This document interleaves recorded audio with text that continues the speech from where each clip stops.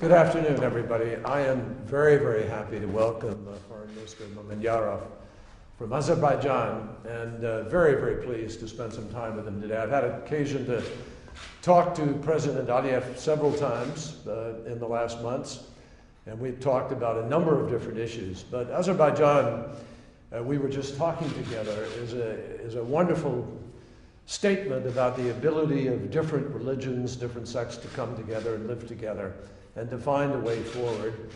And the foreign minister just spoke to the American Jewish Committee uh, here in Washington and received a standing ovation when he talked about uh, the commitment to anti Semitism and the commitment to diversity and pluralism.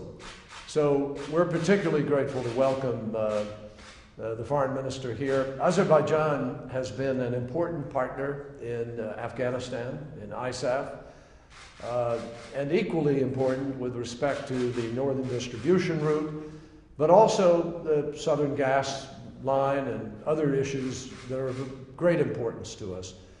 We've also talked, I've had occasion to talk with the president about uh, uh, Nagorno Karabakh. and this is a frozen conflict, as we call it, one that threatens the stability of the region and one that we need to deal with. As co chair of the Minsk Group, we have a serious interest, the United States, in helping uh, Azerbaijan and Armenia to be able to find a path forward. The last thing we want is a return to war and to conflict. I believe there is a path forward, and we will continue to work quietly and patiently in an effort to try to encourage the parties to be able to uh, take either confidence building measures that may get you further down the road or to find a way towards uh, a settlement with respect to this issue. Both have been close before. Uh, and at the last minute, things have happened that have uh, denied everybody that opportunity. So we have a big interest in that. We also have an interest in seeing Azerbaijan continue to walk down this road march down the road towards greater democracy, uh, to help build the pluralism of the country, and ultimately to be able to find a way for peace and stability in the region and with its neighbors. So we are going to work on that, and we're going to have a good discussion in a few moments about a number of these issues. But, Mr. Foreign Minister, I'm glad to have you here. Thank you for your efforts, and we appreciate uh, the effort to try to walk down this road together. Thank you very much, Mr. Secretary. Just a few words. It's very difficult to add uh, something to what's so skillfully articulated by Mr. Secretary for our discussion, for our agenda.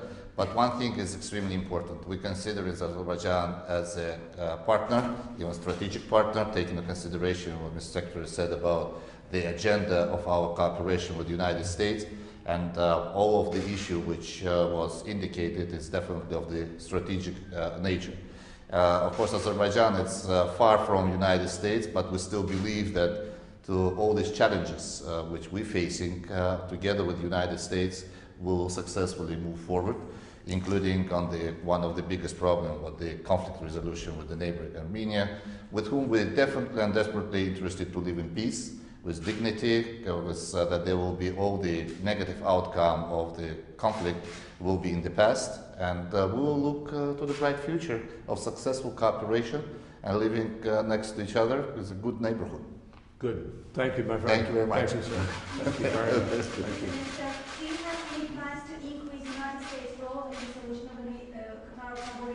We're going to discuss this issue, particular on this detail. We okay? are working on that. Uh, we're co-chairs of the Minsk group. We have uh, thoughts about how we can proceed down that road carefully and thoughtfully. Thank you very much. Thank you. Thank you.